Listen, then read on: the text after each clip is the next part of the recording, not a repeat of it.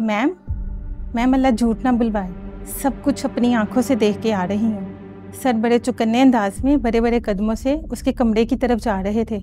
और जिस रोज़ वो आई थी ना, उस रोज़ सर उन्हें देख के हैरान तो हुए, मगर खुश भी बहुत हुए थे।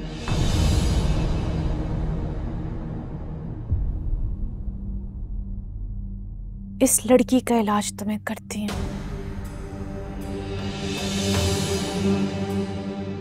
आई तो है वो तबरेज की बीवी की हैसियत से।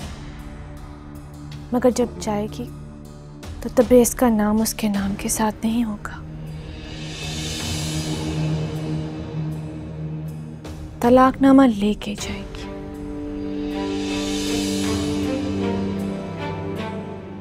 सुनो।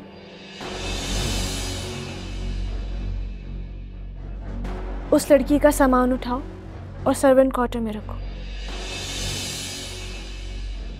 वो आज से तुम्हारे साथ तुम्हारी निगरानी में रहेगी ताकि मेरी अमानत में कोई खयानत ना कर सके। जी। बोलिए क्या कर रही हो तुम? आप प्लीज़ जाए यहाँ से।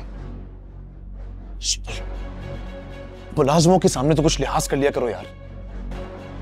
कितना शर्मिंदा करना चाहती हो तुम मुझे?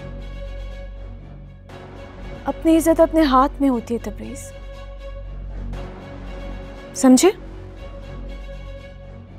क्यों गए थे उसके पास?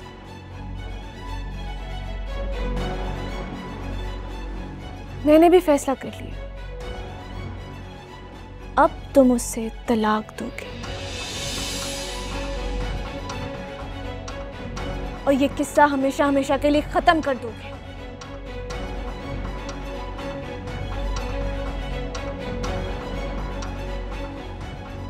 तुम सुन रहे हो जो मैं कह रही हूँ?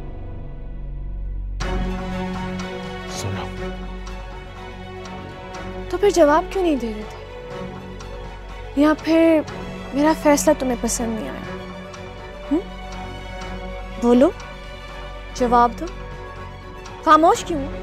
बोलो ना। प्लीज़ मेरी बात मैं बच्ची नहीं हूँ तबरेज। मैं तुम्हारे इस अंदाज को बहुत अच्छे तरीके से जानती हूँ। तुम मेरे पैसों पे उसको ऐश नहीं करवा सकते। और मेरी आँखों में धूल झोंक कर तुम उसे मोहब्बत नहीं जता सकते। मैं उसे छोड़ूँगी नहीं। प्लीज़ प्लीज़ एक एक को देख लूँगी मैं। प्लीज़ सुपल प्लीज़ रिलैक्स संभालो खुद को।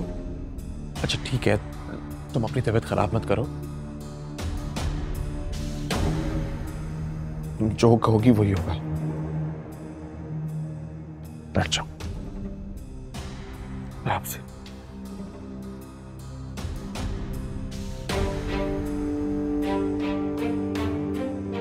वो सर्वेंट क्वार्टर में ही रहेगी।